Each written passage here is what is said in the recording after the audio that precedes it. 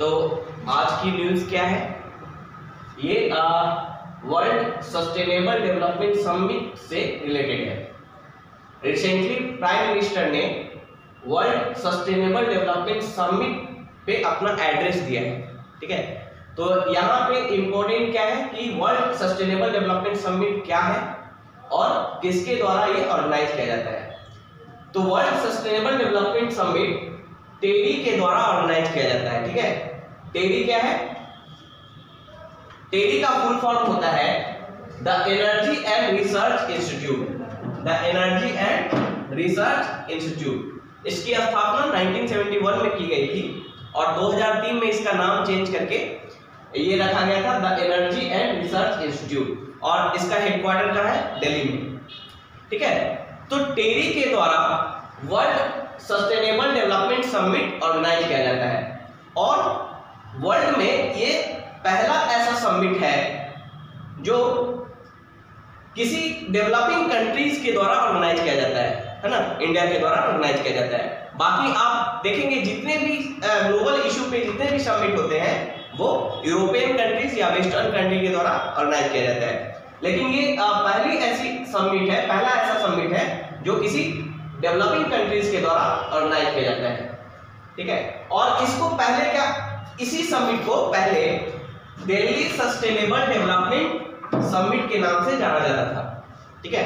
World sustainable development summit को ही Delhi sustainable development summit के नाम से जाना जाता था, जिसका नाम चेंज करके क्या कर दिया गया है? वर्ल्ड सस्टेनेबल डेवलपमेंट समिट किया गया ओके अब यहाँ पे हम लोग देखेंगे इसका लक्ष्य क्या है। इसका लक्ष्य है सस्टेनेबल डेवलपमेंट को प्रमोट करना। वर्ल्ड सस्टेनेबल डेवलपमेंट समिट का क्या एम है? सस्टेनेबल डेवलपमेंट को प्रमोट करना। अब यहाँ पे बात आती है कि सस्टेनेबल डेवलपमेंट होता क्या है और हमें सस्टेनेबल डेवलपमेंट की ज़रूरत क्यों है? ठीक है?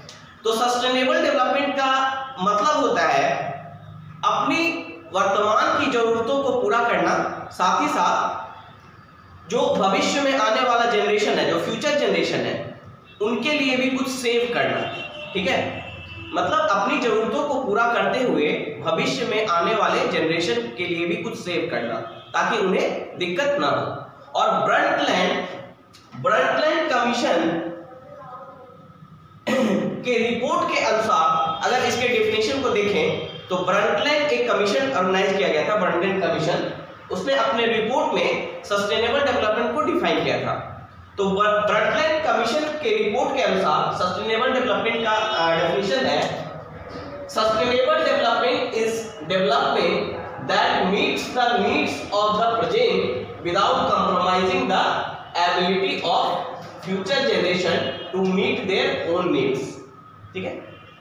यानी हमें वर्तमान में अपनी जरूरतों को पूरा करना है। We have to fulfil our needs ठीक है? Present needs but we we also have to save for our future generation so that they could ठीक है they could meet their needs easily ठीक है तो इसके लिए क्या ज़रूरी है कि हम इन्वायरमेंट को कंजर्व करें, है ना? हमारे पास क्या है? लिमिटेड रिसोर्सेज है. तो यहाँ पे सस्टेनेबल डेवलपमेंट की ज़रूरत क्यों पड़ रही है? क्योंकि हमारे यहाँ जो रिसोर्स है वो क्या है? लिमिटेड है, जो एग्जॉस्ट हो सकते हैं। है ना? अगर हम उसका प्रॉपर इस्तेमाल नहीं करें जुडिशियल इस्तेमाल ना करें तो क्या होगा? रिसोर्स खत्म हो सकता है और हमारे फ्यूचर जनरेशन को इससे दिक्कत आ सकती है ना? तो इसलिए ज़रूरी है कि हमारे पास जो भी रिसोर्स है, उसका हम जुडिशियल तरीके से हम उसका इस्तेमाल करें ताकि फ्यूचर जनरेशन के लिए बचा सके। और इसमें सबसे इंपॉर्टेंट है इन्वायरमेंट को कंजर्व करना। इन्वायरमेंट में बहुत सारी चीज़ें आती है, ठीक है? जैसे कि फॉरेस्ट है। रिवर्स है है ना? हमारा बायोम है हमारा एटमोस्फेयर है एयर है वाटर है सारी चीज़ें एटमोस्फेयर का पार्ट है इन्वायरमेंट का पार्ट है। तो ये सारे हमारे रिसोर्स होते हैं। रिसोर्स दो तरह के हो सकते हैं नेचुरल रिसोर्स और मैनमेड रिसोर्स ठीक है? तो नेचुरल रिसोर्स वो, वो सारी चीज़ें होती हैं जो नेचर के द्वारा हमें दिया गया है ठीक है? तो इन्वायरमेंट को प्रोटेक्ट करना मतलब हमारे नेचुरल रिसोर्स को प्रोटेक्ट करना है ना? तो world sustainable development summit sustainable development को प्रमोट करता है, ठीक है? अब इस समिट में इंडिया का क्या स्टैंड है? मतलब इंडिया अपनी तरफ़ से क्या करना चाहता है? क्या वो बताना चाहता है? क्या उसका स्टैंड पॉइंट ऑफ़ व्यू है? ठीक है? तो सबसे पहला है equitable energy access to the poors यानी सस्टेनेबल डेवलपमेंट का सबसे important component according to India क्या है? Equitable energy access to poor यानी सभी लोगों को के पास इक्विटेबल एनर्जी एक्सेस होना चाहिए मतलब पहुँच होना चाहिए, है ना एनर्जी तक। चाहे वो किसी तरह का एनर्जी हो, जैसे कि कुकिंग के लिए हम लोग एनर्जी यूज़ करते हैं, कुछ लोग कोयले पे बनाते हैं, गैस का इस्तेमाल करते हैं, कुछ लोग लकड़ियों पे बनाते हैं। तो जो भी एनर्जी हम लोग यूज़ कर रहे हैं कुकिंग के लिए, वो सभी लोगों के पास इक्वली पहुँचे, है ना। जैसे कि कुकिंग गैस तो जो गरीब होते हैं, उनके पास कुकिंग गैस अफोर्ड नहीं कर पाते हैं। तो इसके लिए इंडियन गवर्नमेंट ने, क्योंकि इंडिया के विजन है कि equitable energy access to the poor मतलब गरीबों के पास भी एनर्जी तक पहुँच होना चाहिए इक्वल पहुँच होना चाहिए, है ना? तो उसके लिए इंडियन गवर्नमेंट ने कई सारे स्कीम चलाए हैं। जिसमें से दो इंपॉर्टेंट स्कीम्स हैं। पहला है उज्ज्वला योजना। आपने सुना होगा कि गवर्नमेंट ने पिछले साल या दो तीन साल पहले उज्ज्वला योजना स्टार्ट किया था। उज्ज्वला योजना का मकसद था फ्री में एलपीजी गैस कनेक्शन प्रोवाइड करना, खासकर रूरल एरियाज़ में, ठीक है? ताकि जो रूरल एरियाज़ के पुअर हैं, वो भी एनर्जी तक उनकी पहुँच बढ़े, ठीक है? तो इसमें लगभग आठ करोड़ महिलाओं को, खासकर महिलाओं को ये गैस का कनेक्शन दिया गया था, ठीक है? फ्री में। और अभी जो रिसेंटली मतलब 2022 में उज्ज्वला टू योजना स्टार्ट किया गया है। उज्ज्वला टू योजना। उज्ज्वला टू में पहले उज्ज्वला वन में क्या किया हमने? फ्री गैस कनेक्शन दिया। अब उज्ज्वला उज्ज्वला टू में हम क्या कर रहे हैं? सिलेंडर के साथ साथ गैस चूल्हा भी दे रहे हैं। प्रोवाइड कर रहे हैं। कनेक्शन गैस कनेक्शन दिया गया था। फ़र्स्ट पार्ट में फ्री गैस कनेक्शन मतलब गैस कनेक्शन आप जब लेने जाएँगे तो आपको पैसा लगता है गैस गैस कनेक्शन का है ना? तो उज्ज्वला वन योजना में जो खासकर जो बीपीएल फैमिलीज़ के लोग हैं बिलो पॉवर्टी लाइन तो रूरल एरियाज़ में उन्हें फ्री गैस कनेक्शन प्रोवाइड किया गया था। ठीक है? ताकि उनका जो एक्सेस है एनर्जी के प्रति, वो बढ़े, है ना? उज्ज्वला टू में क्या किया गया है? कि अब सिलेंडर के साथ साथ उन्हें गैस चूल्हा, है ना? वो भी प्रोवाइड किया जा रहा है। ठीक है? तो इस तरह यूजुअला यूजुअला योजना से हम क्या इंश्योर कर रहे हैं? Equitable energy access to the poor दूसरा योजना है पीएम कुसुम योजना। पीएम कुसुम में क्या प्रोविज़न है? कि जो भी फार्मर्स आपने देखा होगा गाँव में कि हम लोग बोरवेल सुना होगा या पीटर जो चलाते हैं, जिससे हम पानी को अंडरग्राउंड से पानी निकालते हैं और उसको इरिगेशन के रूप में यूज़ करते हैं, है ना? गाँव में ऐसा ही होता है। और वो जनरली डीजल ऑपरेटेड होता है डीजल से चलता है है ना? डीजल का यूज़ करते हैं वो जनरली तो डीजल के इस्तेमाल को रोकने के लिए, क्योंकि वो इन्वायरमेंट फ्रेंडली नहीं है डीजल, और साथ ही साथ इसे क्या होता है गवर्नमेंट को काफ़ी सब्सिडी देना पड़ता है डीजल पे फार्मर्स को, है ना? तो उसको, उस डिमेरिट्स को कम करने के लिए गवर्नमेंट ने पीएम कुसुम योजना स्टार्ट किया था। इसमें क्या है कि सोलर पावर से चलेगा पंप जो पंप चलेगा, वो सोलर पावर से चलेगा। तो इसके लिए, इसमें क्या प्रोविज़न है कि जो भी फार्मर्स होंगे, अपने खेत में या खेत के आसपास वो सोलर पैनल्स लगाएँगे। ठीक है सोलर सिस्टम डेवलप करेंगे वहाँ पे, अपने खेत में। और उस एनर्जी का यूज़ करके सोलर एनर्जी का यूज़ करके इलेक्ट्रिसिटी प्रोड्यूस करेंगे। और उस इलेक्ट्रिसिटी से अपने पंप चलाएँगे, या जो भी एग्रीकल्चर में जो भी रिक्वायरमेंट होती है इलेक्ट्रिसिटी की, उसको वो मीट करेंगे, ठीक है?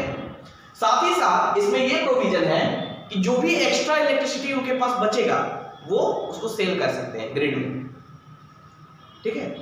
तो पीएम कुसुम में क्या है कि सोलर सोलर पैनल लगाना है खेत में, ठीक है? या पॉन्ड पे, अगर कोई किसान है जो मछली पालन कर रहा है तो पॉन्ड पे क्या करेगा वो? सोलर पैनल लगाएगा।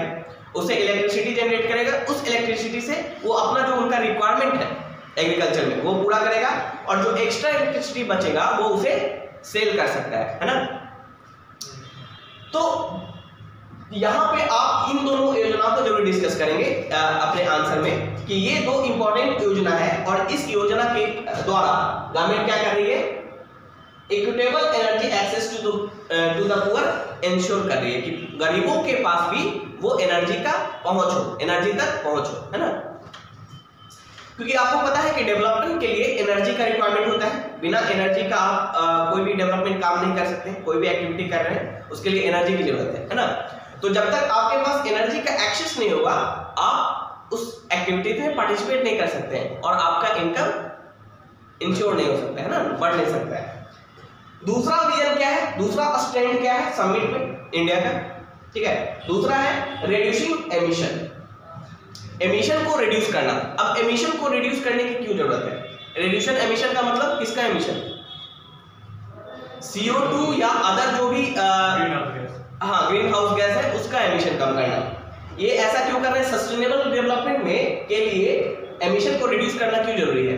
क्योंकि सस्टेनेबल डेवलपमेंट का मतलब ही है, हम नेचर को कंजर्व करें ताकि हमारे फ्यूचर जनरेशन भी उसका इस्तेमाल कर सके। तो जब हम जब एमिट एमिशन को जब एमिशन बढ़ेगा तो क्या होगा? नेचर जो है नेचुरल जो रिसोर्स है, वो डिग्रेड होंगे, है ना? और फ्यूचर जनरेशन के लिए वो अवेलेबल नहीं रहेंगे, चाहे वो वाटर हो, चाहे एयर हो। चाहे दूसरे जो भी चीज़ें फ्लोरा एंड फोना है ना? तो दूसरा जो विजन है इंडिया का, या स्टैंड पॉइंट है समिट में, वो है रिड्यूसिंग एमिशन और उसके लिए इंडिया ने कई सारे कदम उठाए हैं, है ना? जैसे है उजाला योजना। उजाला क्या है? Ujala is different from Ujjwala, ठीक है? तो डोंट कंफ्यूज ठीक है? उजाला उजाला में क्या है? एलईडी बल्ब को डिस्ट्रीब्यूट करना है। आपको पता है कि एलईडी क्या होता है? लाइट एमिटिंग डायोड ठीक है? एक सेमीकंडक्टर डिवाइस है जिसके थ्रू लाइट प्रोड्यूस करते हैं हम लोग। लाइट एमिटिंग डायोड एक सेमीकंडक्टर डिवाइस जिसके थ्रू हम लाइट प्रोड्यूस करते हैं। उसमें क्या होता है? LED is more efficient than other conventional bulb है ना? जो कन्वेंशनल बल्ब हम लोग पहले यूज़ करते थे, ठीक है? पीला जो कलर देता था, उससे कहीं ज़्यादा एनर्जी एफिशिएंट होता है एलईडी ठीक है? तो एक तरफ़ क्या कर रहे हैं हम? एमिशन को रोक रहे हैं, ठीक है? दूसरी तरफ़ क्या कर रहे हैं हम? एनर्जी को एफिशिएंट बना रहे हैं। अब इससे एमिशन कैसे रुकेगा? एलईडी को डिस्ट्रीब्यूट करने से एमिशन कैसे रुकेगा? मतलब हाँ। इलेक्ट्रिसिटी हमें कम एनर्जी की ज़रूरत पड़ेगी। एलईडी जलाएँगे तो। और जितना रिक्वायरमेंट होगा उसी तरह का प्रोडक्शन होगा। तो प्रोडक्शन भी कम हो जाएगा। क्योंकि इलेक्ट्रिसिटी प्रोड्यूशन में इंडिया में मैक्सिमम थर्मल पावर प्लांट से इलेक्ट्रिसिटी प्रोड्यूस होता है। हम लोग कोल का इस्तेमाल करते हैं है ना? तो जितना हम कम इस्तेमाल करेंगे या जितना जो हमारे पास डिवाइस है वो जितना ज़्यादा एफिशिएंट होगा एनर्जी एफिशिएंट उतना हमें कम ज़रूरत होगी एनर्जी की और उतना कम प्रोडक्शन होगा उतना कल कम कोल को चलाया जाएगा और कम एमिशन होगा है ना? तो इंडियन गवर्नमेंट ने क्या किया है? एमिशन को रोकने के लिए उजाला योजना स्टार्ट किया है। बहुत इंपॉर्टेंट योजना है एलईडी डिस्ट्रीब्यूट करना है ना? खासकर पुअर्स को जिनके पास अच्छा वो हाँ हाँ उजाला योजना के तहत बहुत सस्ते में एलईडी प्रोवाइड की जाती है।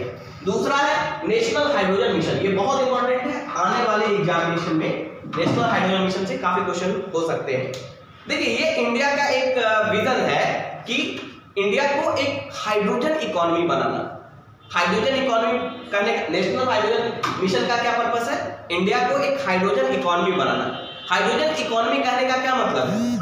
हमारी जितनी भी इकोनॉमिक एक्टिविटी होगी, वो हाइड्रोजन बेस्ड होगी। यानी जो हमारे एनर्जी का मेन सोर्स होगा वो हाइड्रोजन होगा। हाइड्रोजन को एज ए फ्यूल हमें यूज़ करना है। ये है पर्पस हमारा।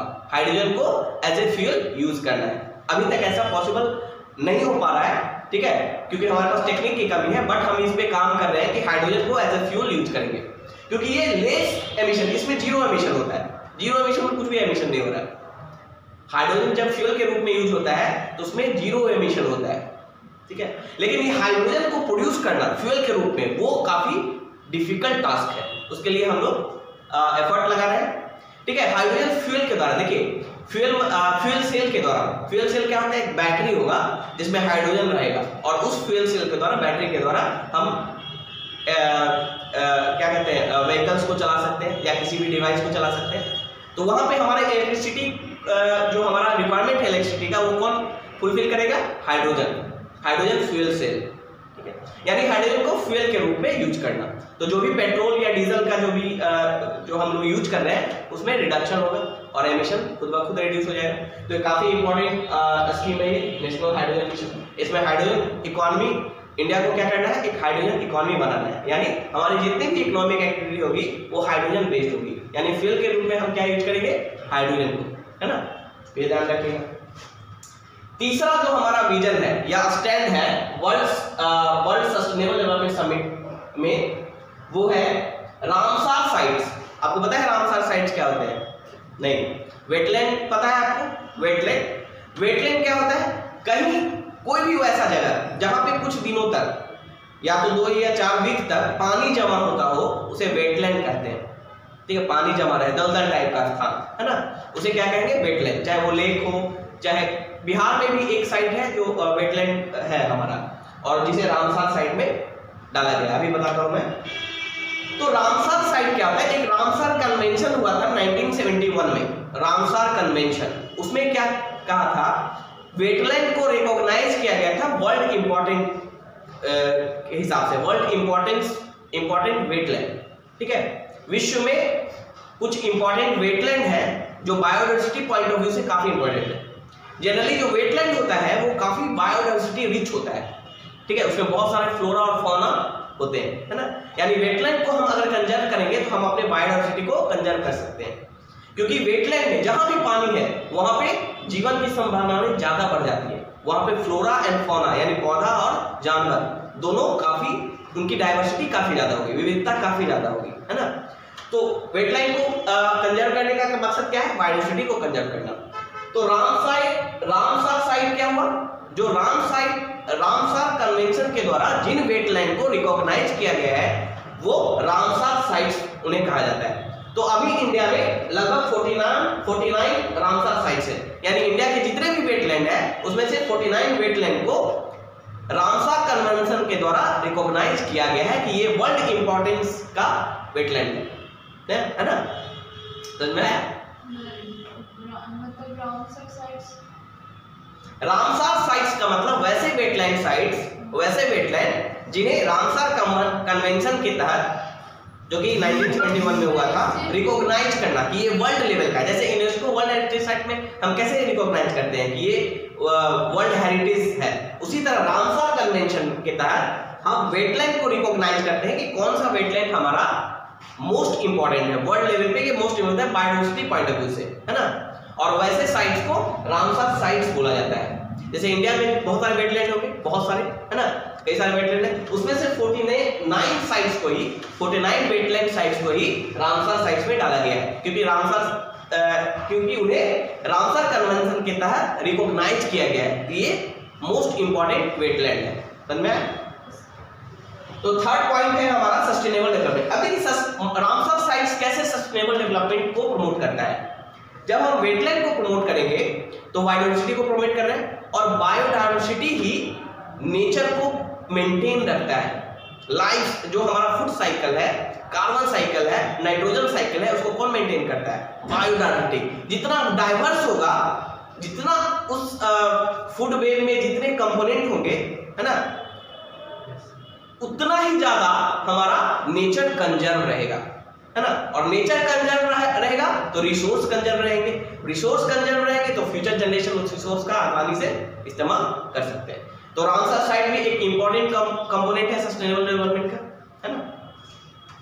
ओके चौथा जो हमारा विजन है, जो स्टैंड है इंडिया का वर्ल्ड सस्टेनेबल डेवलपमेंट समिट में, वो है restoration of degraded land land बहुत है। अभी कुछ यूनाइटेड नेशन का एक रिपोर्ट था जिसके अनुसार इंडिया के जो लैंड है उनका हाईली डिग्रेडेशन हो हो रहा है। मतलब उनकी फर्टिलिटी बहुत ही तेज रेट तेज़ी से कम होती जा रही है।